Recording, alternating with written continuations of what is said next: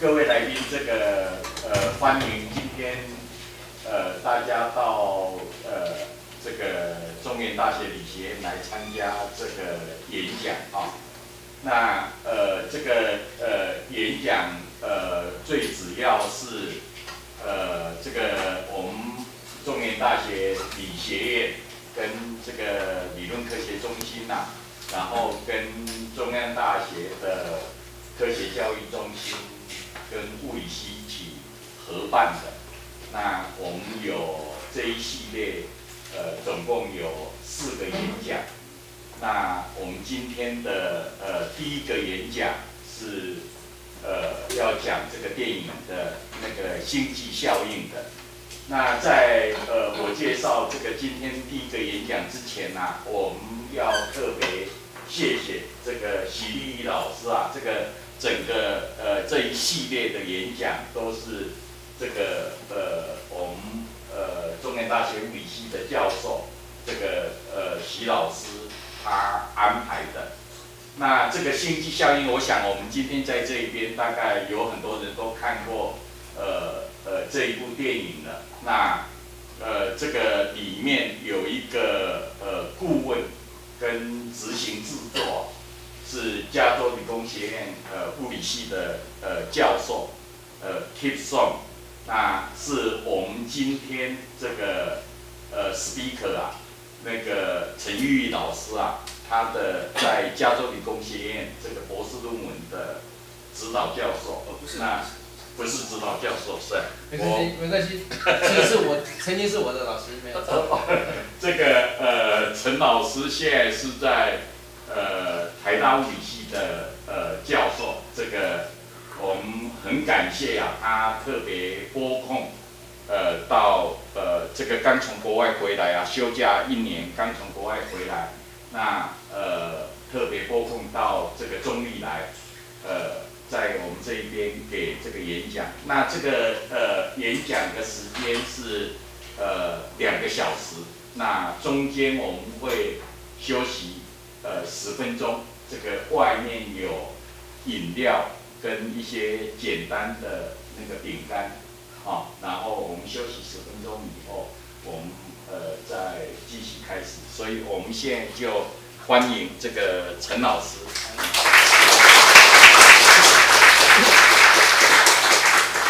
谢谢院长的介绍，也非常谢谢徐教授的安排跟邀请。呃，坦白讲哈，呃，一开始去年这是在去年的事情，去年徐教授他写信跟我讲，我在国外休假，他写信跟我讲说。陈业玉，你知道吗？以前你的一位指导教授，现在在最著名的这个星际效应的电影里面最火热的，他在里面除了当科学顾问以外，还当执行制作人。那号称这部电影里面所用到的一些物理概念，哈，那个执行制作人都要求导演说，你要完全能够符合物理原理把它做出来，而不是只是凭着艺术家的想象把它做得漂漂亮亮的，但是里面搞不好物理都是错的，啊。那还好，我后来发现说，整个做完以后，那大部分整个呈现的方式，除了很漂亮以外，而且看起来是都满足我以前这位老师的那个要求。那因为这个缘故哈，所以我看完那部电影以后，我才答应徐教授说，好，那我觉得我大概有机会有办法把它介绍一下它里面相关的一些物理概念。那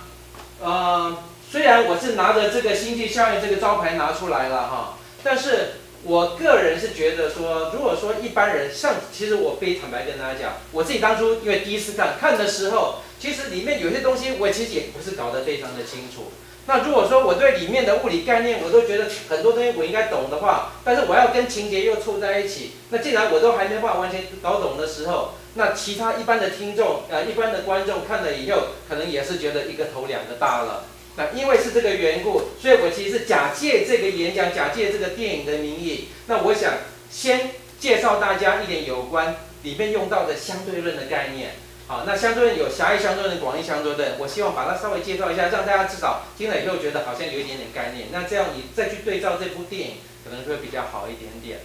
然后在这个演讲的比较后半部的部分呢，我想针对里面所提到的一些看起来非常有趣的名词，可是一定让人家搞不懂的，就是所谓的黑洞跟虫洞的概念。我想从那个地方下手，来跟他讲一点相关的一点点的呃科普的知识。那我的演讲是这样子哦，就是因为我一开始我尽量已经把速度讲放慢了，但是我接下来我就开始会急，我一急了以后，我的讲话的速度会开始变得很快。所以说，如果说你在听的过程里面觉得说哇太快过去了以后，你其实想抓到里面哪一个东西，你就举个手把我打断是没有什么关系的。啊，好，那那我想我就开始好了。那这个题目是星际效应玄妙时空理论的绚丽展现。啊，最主要我想要讨论就是时空理论的这个部分。好，那我的内容呢看起来是五花八门啊。那演讲的缘起，我想就算了，因为我怀疑我的时间不会那么的够。所以演讲的缘起，我就不要去理它。那接下来呢，我想把重点就放在这个里面的相对论的尝试的部分。那设法把它交代完毕了以后，如果时间比较差不多的话，哎，可能听众可能想要休息的话哈，你就可以，我就可以放大家出去休息或回家去休息，都没有什么关系，你不要太客气啊。然后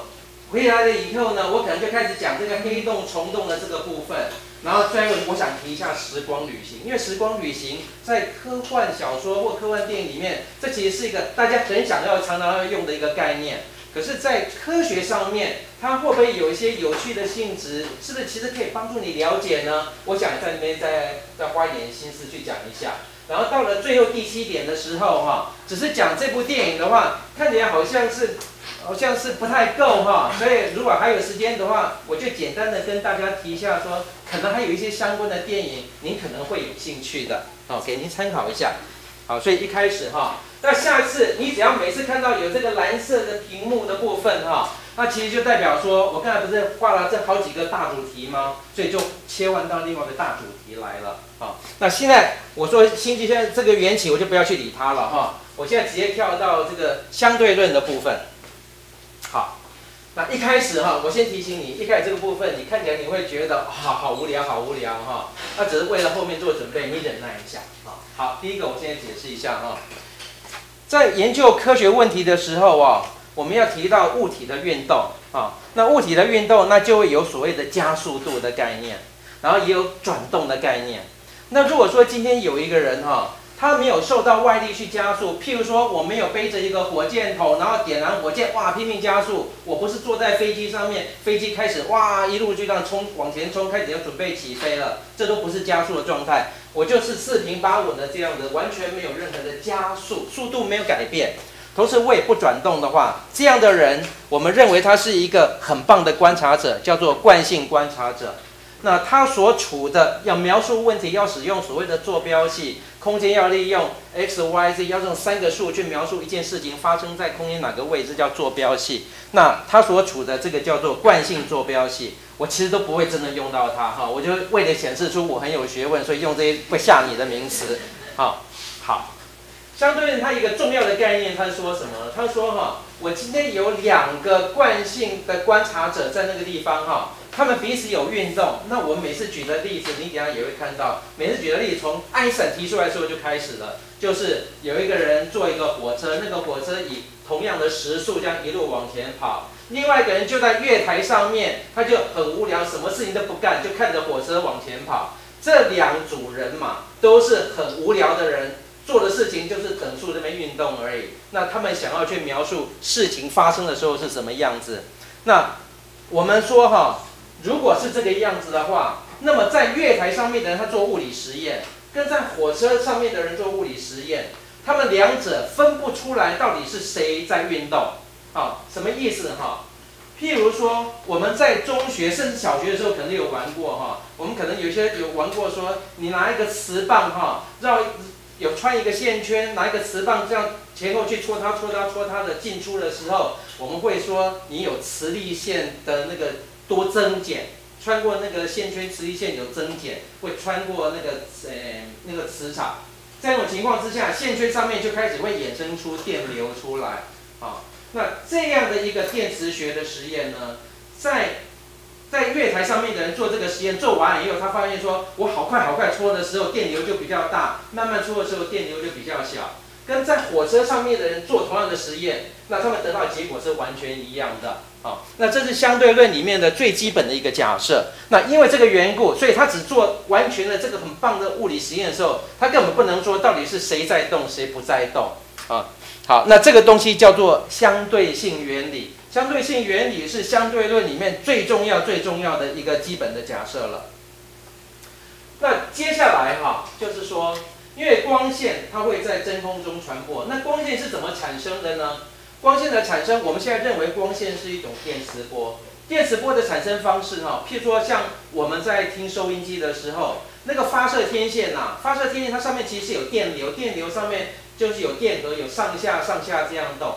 它上下这样上下这样动的时候，因为有电流的改变，它周遭就会形成磁场啊。那它形成磁场，这个磁场因为你上下这样动，所以磁场就一会儿往右转，一会儿往左转，一会儿往右转，一会儿往左转。这个我们以前把它叫做电会去生磁啊。可是我们又学电磁学的时候，又学到说哈，磁会生电，磁会生电，意思就是刚才我说这边的磁场会有这样子绕，然后一会儿又这样绕。那当这个磁场随着时间会变化的时候，在这个磁场的周遭呢，它还会再衍生出一个。一会儿是这样绕的电场，一会儿是这样绕的电场，所以你有没有注意到，像这现在它的呃特性是什么呢？就是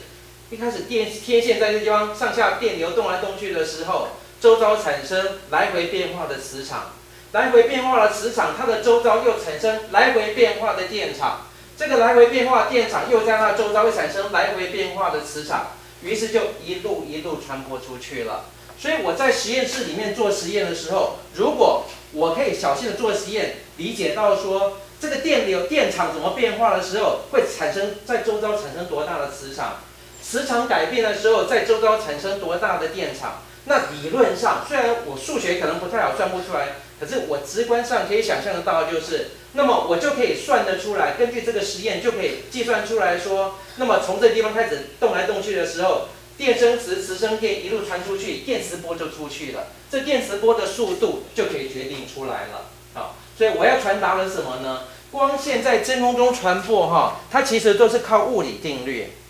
可是如果说它是靠物理定律的话，光线我们已经知道说它传播的速度是非常的快，在真空中的话是每秒钟基本上差不多就是三十万公里的速度。那这个速度呢，根据相对性原理，哈，那就变成是。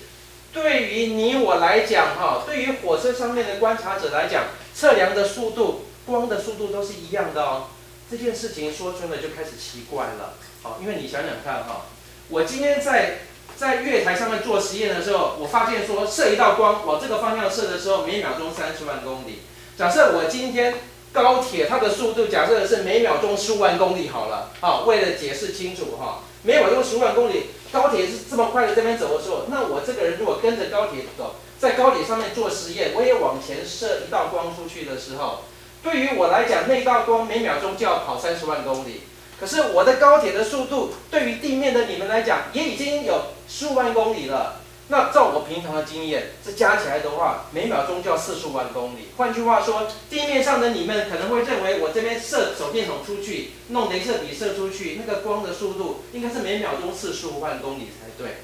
可是这就直接矛盾了，因为我们刚才在绿色这个字，绿色的字就代表是重要的、正确的物理啊。绿色字上面写的就是，因为我刚才告诉你，光的速度明明是用电磁学来决定的嘛。所以我决定出来是每秒钟三十万公里，你也决定出来应该是每秒钟三十万公里才对。那怎么搞的？直接跟日常生活的经验就完全矛完全矛盾了。那其实就是因为这个缘故哈，所以常常大家就觉得说相对论一定错了，好，相对一定错了。可是既你都可以发现错，我都可以发现错的时候，爱因斯坦怎么笨到他没有发现错呢？还在弄相对论干什么呢？所以一定是爱因斯坦有另外一个想法。他的想法也有办法去自圆其说才对，所以我今天要请大家建立起来一个概念，就是相对论，我们认为它是没有错，我们有实验显示出来它没有错，可是你怎么让它跟日常生活的经验矛盾部分可以解开来？这下面我要讲的事情。好，那所以我现在就按照平常的规则哈，只要讲相对论的话，就要弄火车，就要弄月台，所以我在这边就弄起来，这是相关的给你看哈。现在这个火车的这个长度哈，跟这个呃灯柱的长度都是一样的哈。这个尺跟蓝色的尺什么都一样，大家都不动。还有一把橘色的物体，橘色的物体的长度我不说，等一下我们设法去测量它看看。这等一下我会相关会用到的物品。好，那我们现在就开始做这个实验。我现在先告诉你说，爱因斯坦怎么解决刚才那个矛盾的。好，我们现在做的事情是这样子哈，在火车上面哈的人哈，他做一个实验哈，他的实验就是从。我把这个一号、二号、三号的车厢，那他们因为这个比较特别，我就故意设成是橘色的。那我现在从这个地方到地方，两个一号跟三号的上面哦，有两个灯哈，就同时发光。同时发光了以后，那距离都一样嘛，所以它等下一定在二号的橘色这上面会碰头，对不对？可是你现在是在火车上面做实验，地面的那个灯柱哈，相对于来讲就会变成是往后面这边走嘛。好，那看起来是这样子。好，现在从地面的人看到什么事情呢？那我现在告诉你，这个动画是正确的动画，也就是爱因斯坦告诉你说你怎么去自圆其说的。本来在火车上面的人，他觉得说一号跟三号灯要同时发光的。你现在看这个动画里面，你发现说没有同时发光的，尤其是你发现说它先发光，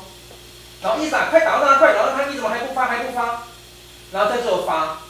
它发到这个地方的时候呢，因为你想想看哈，一号这边发光的时候，它其实是在追这个橘色的车厢的灯，而三号的这边，它它其实是守株待兔就好了，因为它已经那个橘色的车已经往我这边冲了嘛，所以它根本不急着发射那个光。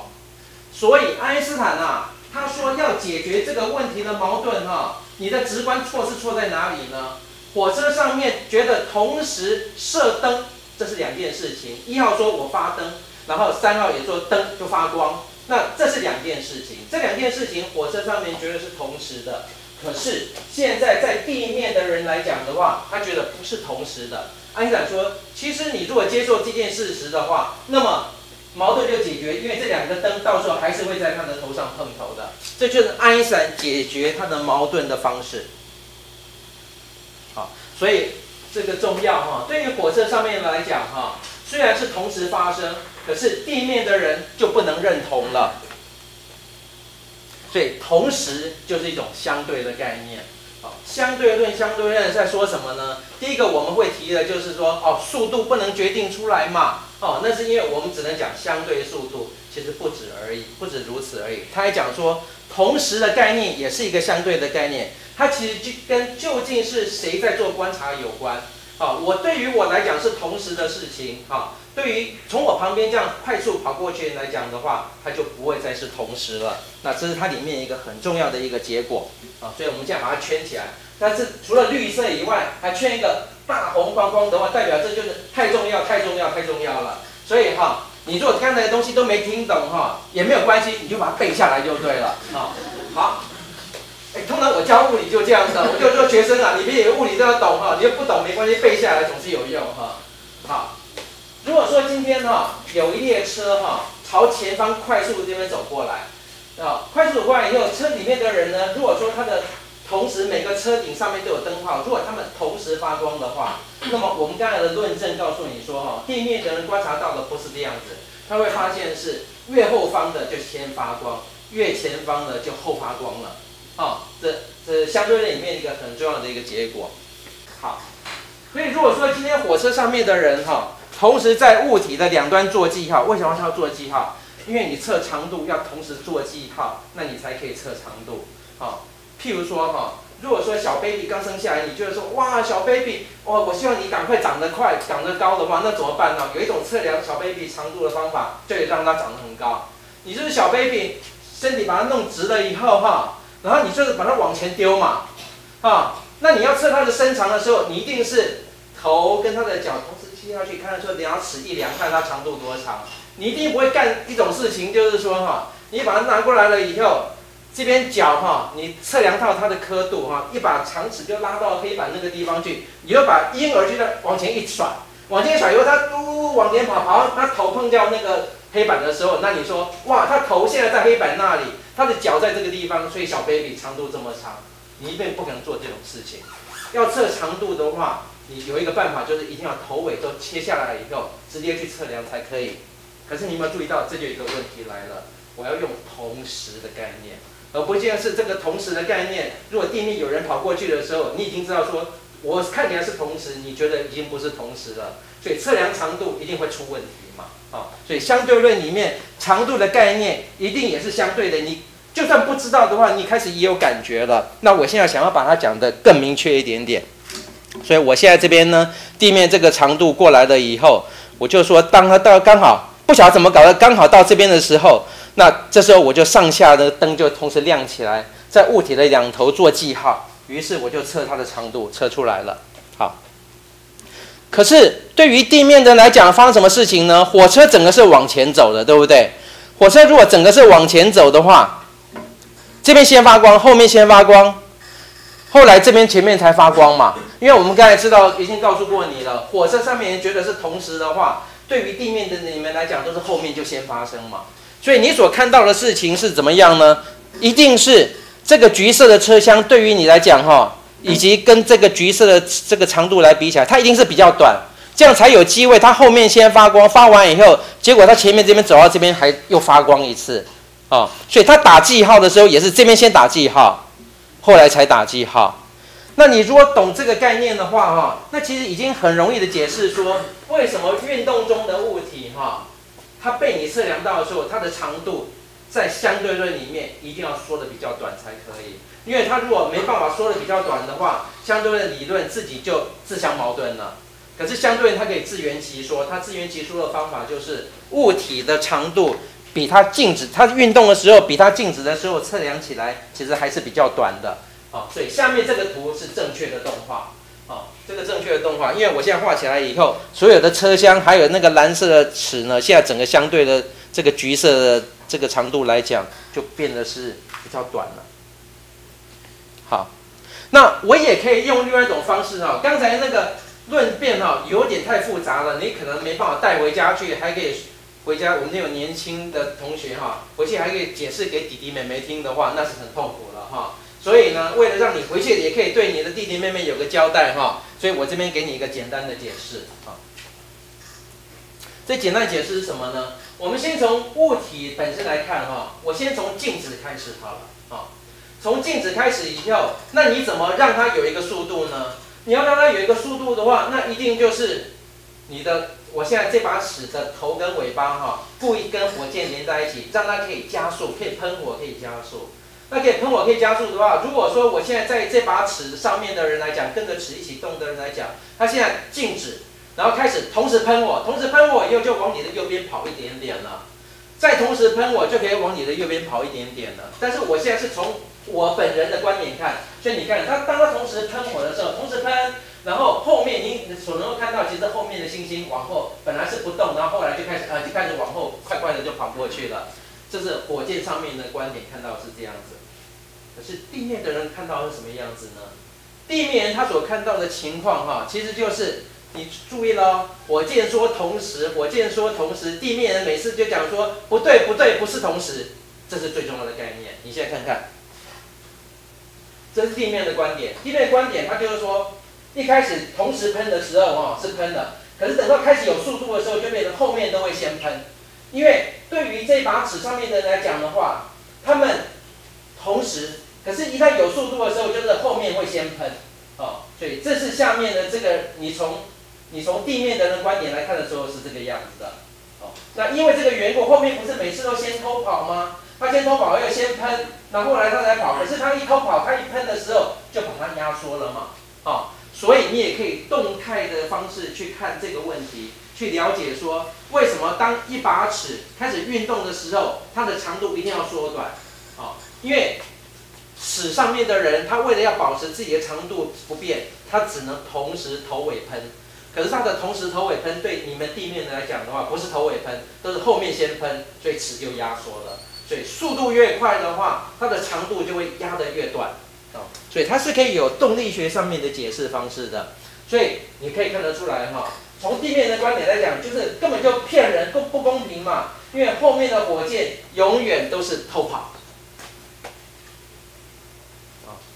除了这类事情以外哈，我们现在看说地面的人哈，他怎么测量橘色车厢的速率呢？假设他就先校正一个十米的长的这个尺啊，假设棕色的尺就在这边，假设它是十米，好，它十米了以后，那它怎么去测量呢？那我现在这个图里面已经正确的画出来了，车厢因为在运动，它的长度已经缩短了，哦，那我再从头来哈。当这边尾巴跟它切齐的时候，你发现地面的两个灯柱同时发光，同时发光是要做什么事情啊？它是要让这两个灯柱的那个时钟哈校正，好，你看看这两个时钟哦，它现在一发光的时候，两个那个时针哈，呃分秒针就开始动起来了。你看看，你看这个红色的秒针哈，就一起动，都动到四的那个地方，经过了二十秒的时间，啊，好，所以刚才首先发生的事情就是上面这两个事情，他们先校正时钟，所以用两道光来对时，那这边走走到这边以后，它后面的这个灯柱哈，它又点了一道灯，又又闪了一下。它闪了一下，就代表说啊，那个尺啊，蓝色那个尺已经到达它的这个地方了。好，我们再重看一次哈，因为这比较复杂一点点，校正时间。然后等到尺跟它切在一起的时候，它又，所以我现在闪了三道光，哦，闪了三道光，其中前面两道是同时的。好了。假设我的时间差是二十秒的话，哈，那么橘色的车厢速率是多少？那橘色车厢，因为因为我这个橘色的，因为我现在这把尺距离是十米嘛，十米除以二十秒，所以这就是橘色的这个车厢的速度。但我现在又是回到这个火车的观点再来看这个问题，火车的人呢，他现在觉得。因为相对的哈，他会觉得地面的那一把棕色的尺，现在反而是棕色的尺，对他来讲是缩短的。好，好，对他来讲缩短了以后，我们现在看那个灯是怎么亮起来的。他现在从右边进来了，从右边进来了以后，当这边切的时候，哎，奇怪了，怎么搞得后面那个那个灯柱的灯竟然先发光？它先发光，他会觉得那是莫名其妙一个光，不晓得他为什么发那道光，为什么呢？因为地面的人本来两道灯柱同时发光，目的是要校正时钟的，它是校正时钟没有错。可是地面人觉得是同时，火车上面人又觉得赖皮，你根本不是同时嘛。他觉得后面那个灯柱就是先先闪了，所以对他来讲，那个闪灯啊的动作根本是乱七八糟的。很不幸的是，他一闪的时候，那个时钟已经开始计时了。这个时钟，你看，它已经开始这边计时了，而。左边的这个灯柱，它是后来才开始计时的，所以啊，火车上面的人会觉得说，地面的人做实验做的是很乱七八糟实验，不合道理。因为后面这个莫名其妙，就这个时钟，等一下，它闪了以后，时钟开始动了，可是这个时钟都没有动，时钟到这边才开始动，哦，所以他觉得第一个灯闪起来是莫名其妙的，好。那它是要等到哪个时候才又闪呢？后面那个灯柱才闪呢？那是等到它跟这边切齐的时候才又闪一次的。啊，莫名其妙的闪啊！现在这是正确的闪，好，然后现在又是对第三个又是正确的闪一次，因为正确闪一次，那时候他也看到说橘色的车厢已经到达它的尾巴，它到达那个灯柱那里。好，那对他来讲的话，哈。不管他实验怎么做，他也是觉得说地面的人在运动的速度应该也是十米除以二十秒的那个速度，应该是零点五的那个数值才对。因为相对人说速度这是相对的，我觉得你是怎么走的话，你也觉得我是怎么走，速率的数值是一样的啊，所以他应该得到这个数值才对。可是对于火车上面这个来讲呢，因为他觉得棕色的尺线缩短了嘛。那假设它原来是不动的时候是十公尺，假设它已经缩短成七点五米的话，那么它所经过的时间一定要等比例的变短，因为只有这样的时候，你把七点五米，你把它除以等比例变成十五秒，除完以后你才会得到还是零点五的这个速率的数值。所以啊，我们现在其实是有一个很重要的一个结论哈，它现在测量的时间变短了，测量时间变短的比例是多少？我们不需要这个做伟大的数学哈，你其实直接就可以知道说，时钟变短的比率跟长度缩短的比例哈，它们是完全一样的。如果说今天一把尺运动的时候，它长度变缩成一半的话，那么它上面的时钟走起来的速度也跟着变慢，变成了一半而已了。好，所以呢，如果说今天呢有一列的火箭哈，一列火箭上面的人他们始终保持等等距离。但是是不断的往前冲啊，不断往前冲以后，那我现在就是加速，动一下，加速，加速，再动一下，加速，再动一下，我把它叫做是分段式的加速。如果我是分段式的加速的话，哈，那么对不加速的惯性观察者的话，他会发现什么样的东西呢？就是越后方的火箭都会越早偷跑进行加速，好，那因为后面的火箭先偷跑先加速嘛，所以后面的火箭跟前面的火箭比起来，其实它一定速度一直都是保持是比较快的。那因为后面的速度因为都比始终比前面的火箭速度还快，那所以呢？它的那个时间也一定是会过得比较短，呃，过得比较比较慢，好，也就是说，越后面的时间过得越慢，越前面的时间过得是越快的。好，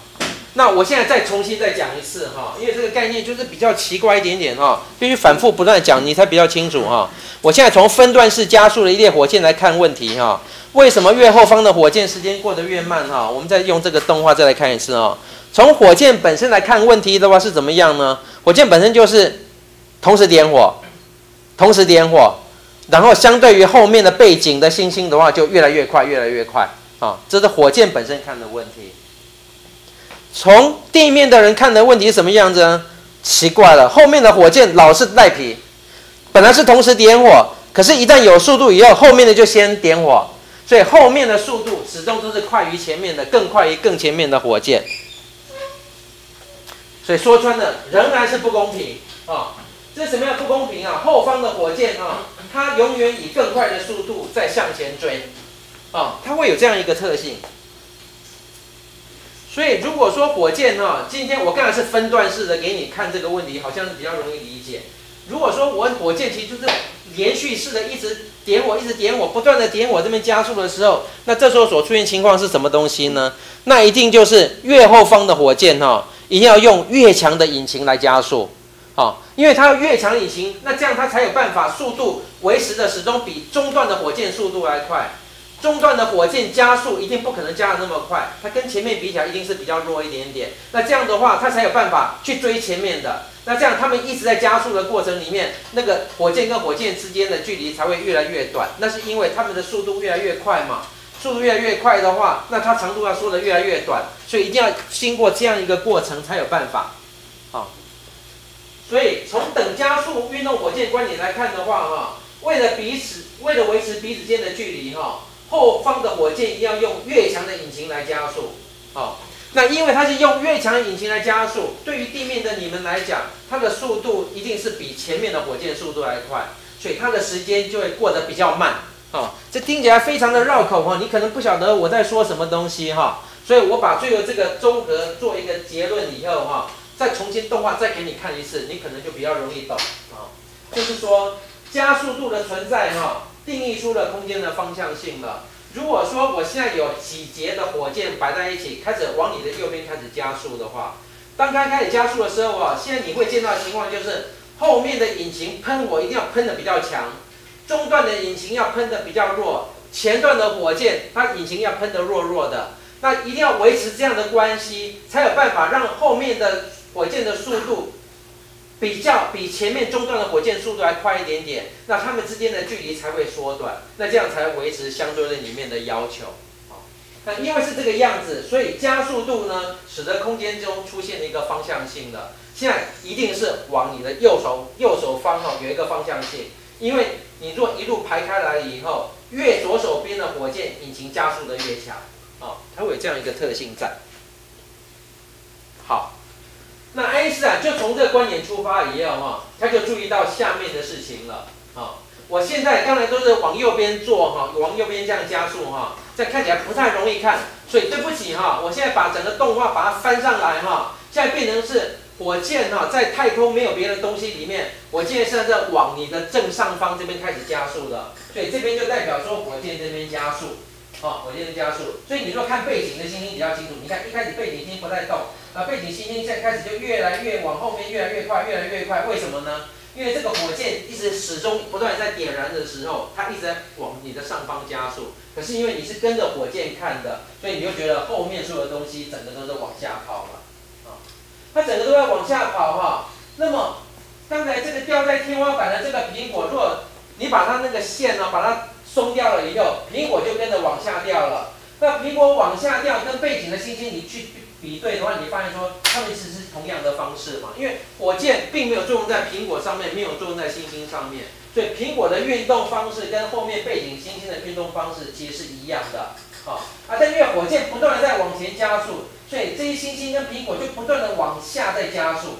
可是这个结果跟这边这个地面上的苹果树，我们在日常生活里面有经验，苹果开始掉的时候，越来越快，越来越快。越来越快，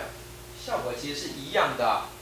效果其实是一样的。那这就是爱因斯坦他很厉害的地方。他说：“诶，人在等加速运动的火箭里面哈，你如果去看一个苹果，那个苹果如果不受其他外力作用的话，那么它看起来它的运动方式，对于火箭里面的爱因斯坦来讲的话，跟在地面地球的表面的这个爱因斯坦来讲所看见苹果往下掉的运动方式，其实一模一样的嘛，啊。”那这个概念你我都是可以理解，我也可以理解啊，哈，不能理解的就是说，爱因斯坦竟然脑子那么聪明，他会想到下面的这个观点，这我打死我我也想不出来的哈。他说，哎，那如果是这样的话，你如果观察物体的运动，那么发生在重力场里面的物理物体的运动方式，跟在火箭等加速的火箭里面看到的方式如果是一样的话，那有没有可能这其实是很一般性的一个现象？也就是说，它其实不只适用于苹果的轨迹的运动而已，搞不好任何物理定律、任何物理现象都对呀。那这是一个很可怕的一个假设，因为我刚才只是看苹果掉下来轨迹，他现在说的不是，他现在说的是说，哎，如果我现在还是在地面这个地方拿起线圈做漆包线绕起来，拿个磁棒这边通通通通通做那个电生磁磁生电的实验，跟你跑到火箭等加速的火箭上面做。电生磁，磁生电的实验，安斯坦说，搞不好这两者也会有一样的效果啊，哦，所以他已经不只是举一反三了，他已经是举一反一百，举一反一亿呀。因为从力学的运动轨迹，他直接把它推到所有的物理现象，他说应该都要一致啊。所以这是一个非常重要，可是又其实是非常大胆的推论。那这就是所谓的等效原理最粗浅、最粗浅的说法。这个等效原理对于爱因斯坦发展所谓的广义相对论，其实起了蛮大的一个作用。好，所以我们现在再再再来看一下哈，加速运动左边是加速运动的火箭里面的人看到的，而右边还是地面的那个的人哈。只是呢，不晓得为什么哈，现在这个火箭的左边的那个墙壁上面摆了一个灯泡了，灯泡会发光哈。然后地面的人呢，不晓得为什么树上竟然摆一个灯泡，你不要问我那个灯泡怎么装在树上的哈，它就装在那里，它就发光了。好，好，那它这边加速的过程里面呢，你看哈，这个灯，这个灯它射出一束光，它射出了一束光，跟这个苹果哈，它们掉下来的时候，它在这个垂直方向哈，它们两者其实是一致的，因为就跟后面的星星运动方式一定一样的。你看这个火箭里面这个光的话，你比较理能能能够理解说，为什么对于里面的这个安想来讲，那个光线好像是往下坠落了？因为其实我们地面能看得比较清楚，不是光线往下坠落，是你这个火箭在往上跑嘛，对不对？好，可是爱因斯坦那个等效原理的假设，他就说，诶，你在火箭如果火箭里面如果发现这个这个光线会往下坠落的话，那你在地球上面做实验的时候。没什么道理，这个光线不要往下坠落啊，哦，那这个完全是他就从这个学纯粹学理的方式，就就是把它推论出来说，哎，你好好的做实验，说不定可以看到这个现象啊，哦，这在我们以前绝对想象不到，因为电磁学是一回事，这个重力力学这是两回事嘛，这完全不一样的东西，八竿子打不着，你怎么把它全部扯在一起？爱因斯坦就是说，对啊，物理就应该全部混在一起，这才好玩呢，哦。那没想到我们后来做实验的时候，发现说真的就是如此，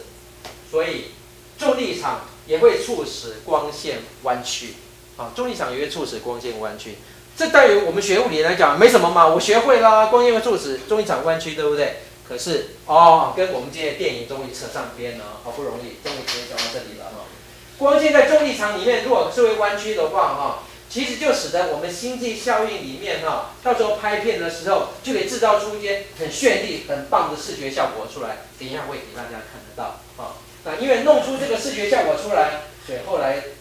奥斯卡金像奖，就是他拿到的啊。所以你看看哈，就是跟座位里面的这个小朋友跟年轻的朋友分享一下哈，科学是一回事，艺术是一回事哈。可是当你有那种素养的时候，你可以把它结合在一起的时候，说不定你可以做到更棒的一个东西。你可以把它结合在一起的。所以，即使你今天只对艺术有兴趣，多涉一点科学不会有坏处。你只对物理有兴趣，没关系，让你自己的那个眼光再放大一点点，你再去看一下艺术不同的东西，也许可以提升你整个的你你整个的层次的啊。好，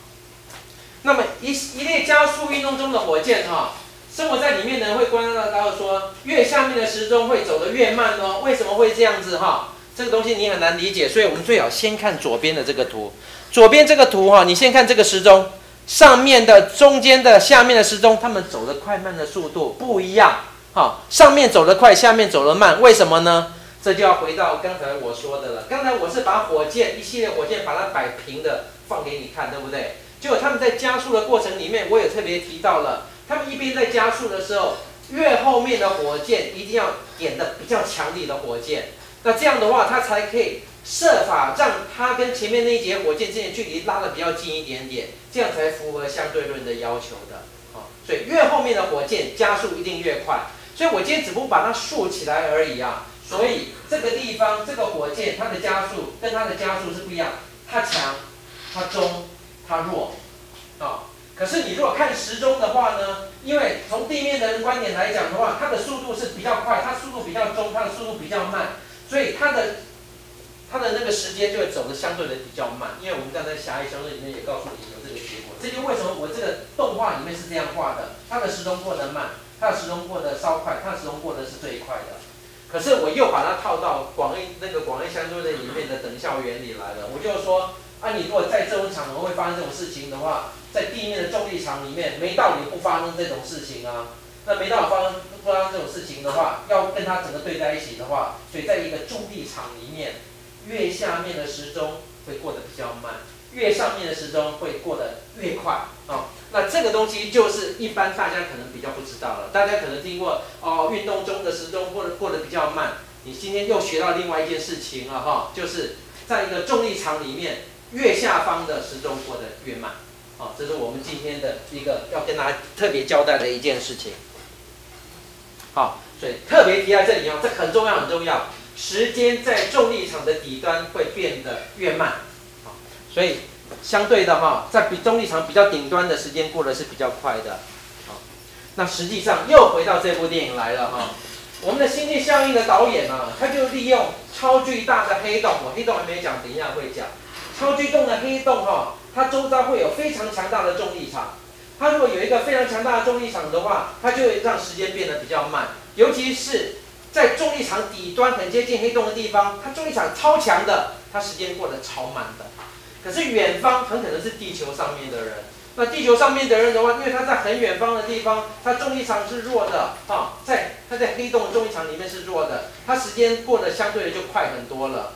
所以呢，就营造出太空人啊，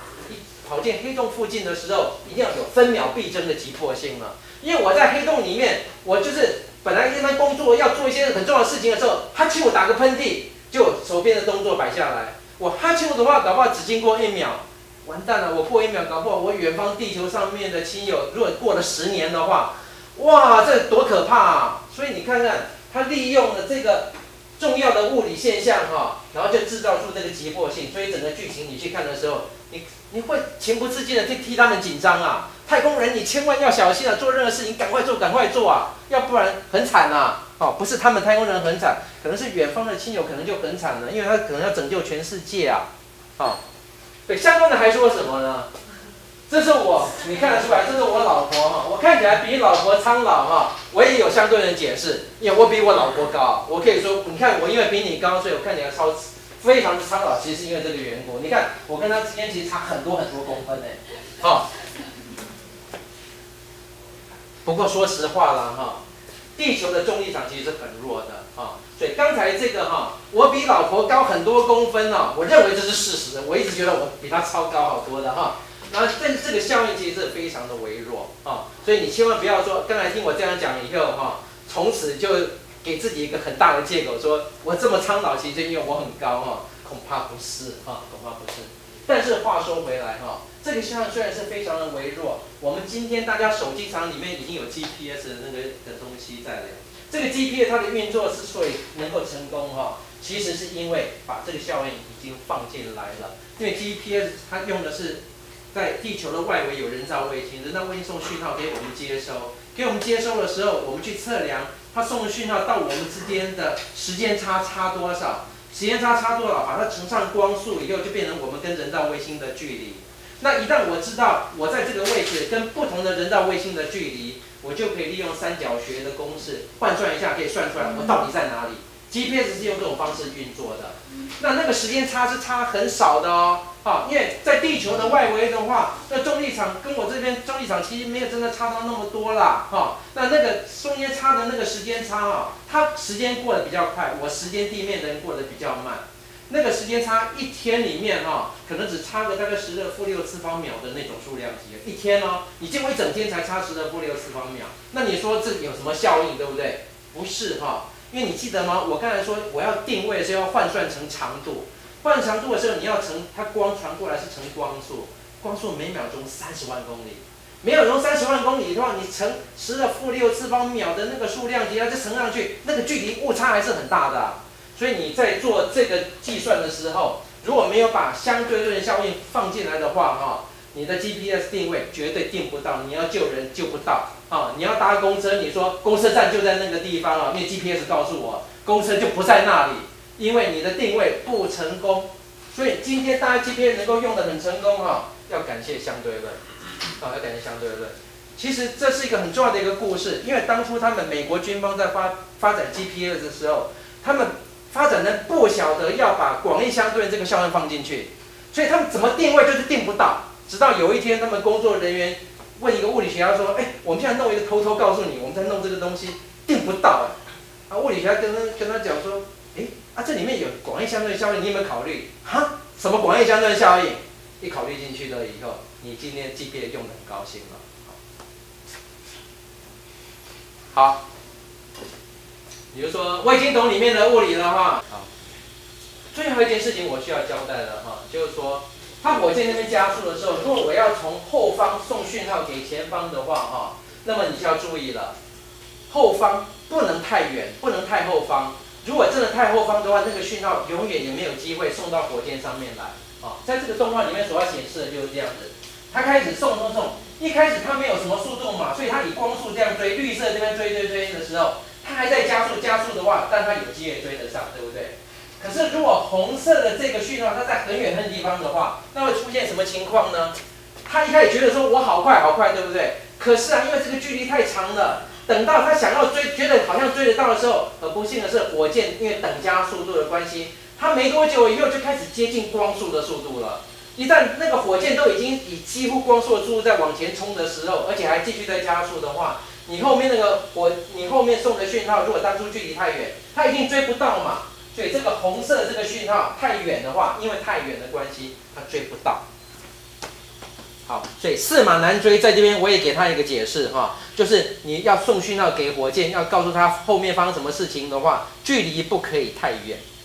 好，所以在等加速火箭的后方哈，形成了一个所谓的事件的地平线。我们所谓地平线什么意思呢？我如果登高山的话，看远方的话，因为地球是圆的关系，我只能看到某个层次去，更远的距离，因为弯曲的程度，弯到另外地方去，我就看不到。我们把它叫做一个地平线。所以啊，对一个等加速度的火箭来讲哈，它后方的某个地方，譬如在这个地方哈，可能就会有一个地平线的概念。因为那个地平线之外更远的地方的话，你再怎么快速送什么讯号过来，你速度顶多就是光速而已。可是连光速都追不上的时候，你讯号就送不进来。所以在这个等加速度火箭的后方很远很远地方的话，发生什么事情，我这辈子永远都不知道。火箭上面的人永远都不知道。所以对他来讲，就出现了一个所谓的事件地平线。啊，我如果把刚才这个整个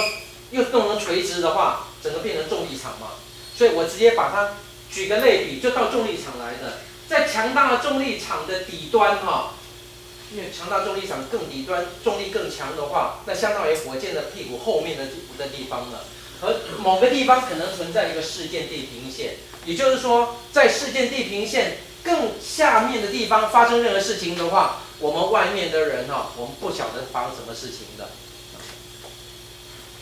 好，星际效应，哎，又来了哈。那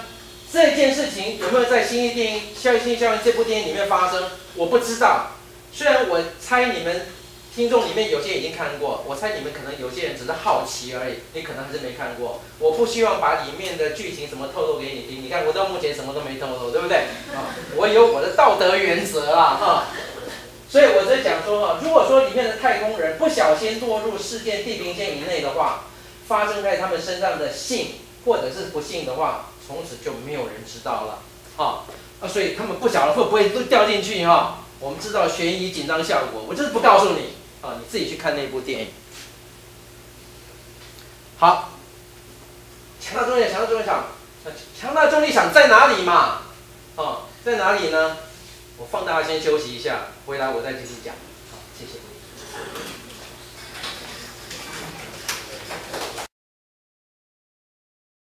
To maintain the